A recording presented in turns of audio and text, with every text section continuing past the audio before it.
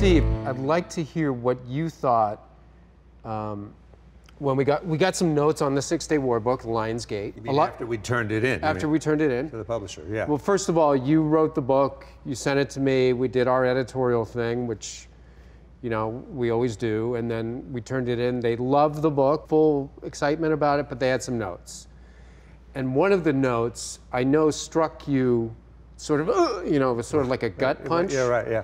And um, I'm just wondering why it was such a gut punch to you and why it was so important. And this is about uh, the importance of the War of Independence, Israel's War of Independence, and why that matters in the Six Day War. What, what does it matter? What happened? It's like saying, oh, what happened in War War One really has a major impact on World War Two, and it does and it doesn't. Right.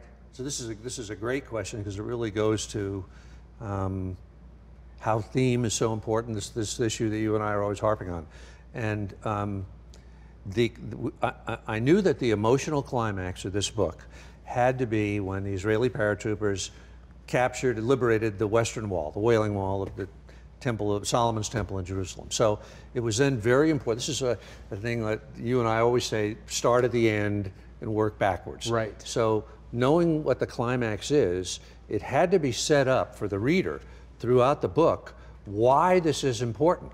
So there had to be story. We had to somewhere. I had to tell the story of Solomon's temple being destroyed by the Babylonians and the Romans, creating the diaspora, et cetera, et cetera. And I had to, you know, set up the the importance of, of the wall and the loss of Jerusalem and that. You had to all- raise all the that sort of stakes. stuff, right? You had to build. Right. Yeah. So, in other words, it wasn't random what interview number one was, or page one, or page six, page seven.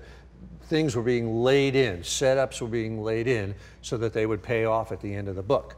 And one of the things that was very important was we couldn't just start in 1967 because th- this is for an American audience. Yes. And, and they don't know. They don't even know about the Six Day War existed, let alone what happened and what preceded it. And I know they don't know because I didn't know. Right. You know, when, when I went over there. So, getting back to the notes that came back from the publisher, there were a couple of uh, chapters early on in the book about Lou Lenart, who was my sort of the guy that David Mamet introduced me, the godfather of the book that the book is dedicated to. But that, they wanted, the publisher wanted, as you know, to cut that. Yeah, let's They just said, go right to the six. we don't need that. You know, it's this, the stories about the Six Day War. Why do we want to have to talk about the, this war that was, you know, in 1948? And uh, that was one where you'd fall on your sword over it, you know. And I know that uh, we talked about that, that, that. That was the one where we're ready to pull the plug and give them their check back, you know. Right, right. Um, because the Six Day War m- would mean nothing if you didn't know what the antecedents for it Exactly. were for. I mean, what you did in the book is you didn't just do the War of Independence and the Six Day War. There was the Sinai campaign in between there, and it's sort of like how we talk about foolscap, beginning, middle, and end. Right. Those were sort of the first three acts of Israel's history, you know, and they happened in a period of 20 years. Yeah, 19 years, yeah.